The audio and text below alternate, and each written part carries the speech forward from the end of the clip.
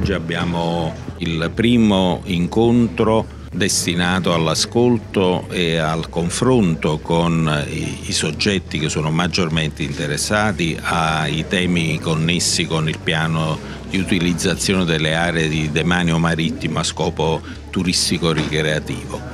Abbiamo l'incontro organizzato insieme all'Anci con i comuni costieri, sono 60 comuni della Campania,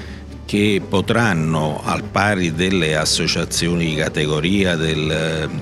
balneari, dei concessionari e delle associazioni ambientaliste, di tutti quanto hanno in qualche modo riferimento alle questioni legate al turismo e alla balneazione, la possibilità di presentare delle osservazioni entro il 6 marzo eh, che saranno prese in considerazione insieme al documento già adottato per poi passare al Consiglio regionale che dovrà definitivamente approvare il PUAD.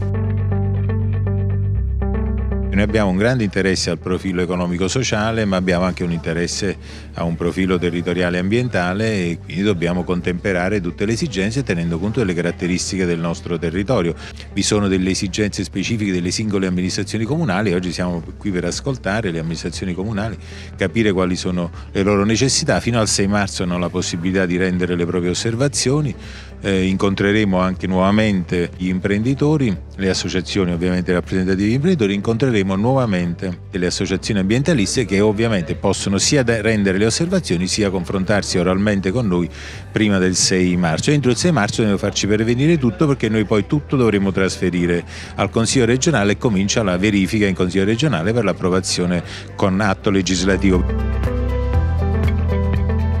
fondamentale questo piano, è fondamentale mettere a sistema 60 città importanti, 60 strategie territoriali importanti per la regione Campania. Non è soltanto un piano strategico ma è anche un piano che deve poi attuarsi con una visione più ampia, più forte e crediamo che questa possa essere un'occasione per l'intera regione, non solo per le aree costiere un protagonismo dei comuni, un protagonismo dei territori, un protagonismo di, di chi legge insieme agli altri eh, comuni una, una, rete, una rete che fa sistema, che lo fa insieme all'associazione ma che lo vuole fare anche insieme alla regione Campania. La, Campania, la regione oggi mette a disposizione un contenitore, adesso noi comuni abbiamo l'obbligo e il dovere di costruire strategie e visioni non solo per le proprie città ma per l'intera regione.